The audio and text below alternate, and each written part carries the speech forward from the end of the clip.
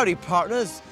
This week a taste of Europe comes from the land of great blue skies, wide open prairies, where buffalo still roam free. Well, in, in pens. Forget the Wild West because this week we're in southern Italy where organic buffalo milk becomes an incredible mozzarella cheese. My hat! Delicious in salads and as vital to pizza as tomatoes. The Italians have been making buffalo milk cheese since these gentle animals were first imported by the Romans. This farm at ancient Paestum near Naples produces 2,100 kilos of buffalo mozzarella every week.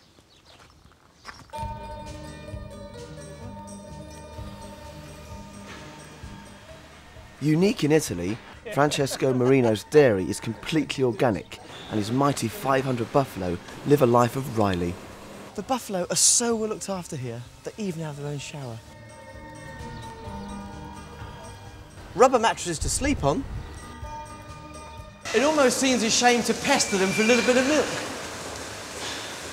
So when they come in, Francesco, they know ex exactly where they're going. Yes, uh, they have only one position and it's the same for 10 years of life. So in actual fact, they're really quite intelligent animals. Yes, they're very intelligent animals, much more than a cow. They absolutely love this guy. They come in and they go into respective stalls, and when they come to leave, he just gives them a little pat, and they don't want to go. It's just lovely to see. They adore him, absolutely adore him. We've seen the buffaloes being milked, and now this is the cheese process. So come here, Dave, give us your watch.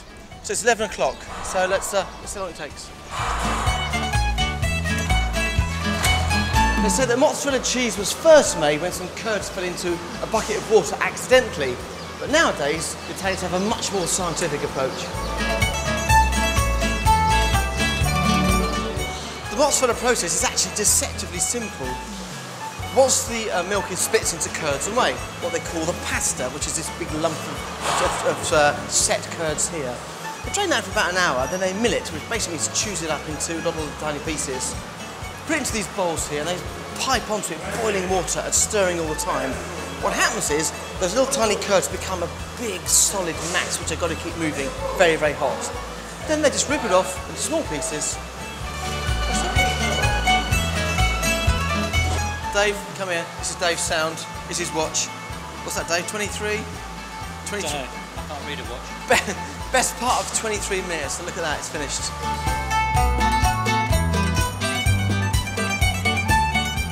From the ancient Paestum Hills, country mozzarella has made a huge leap into the big city.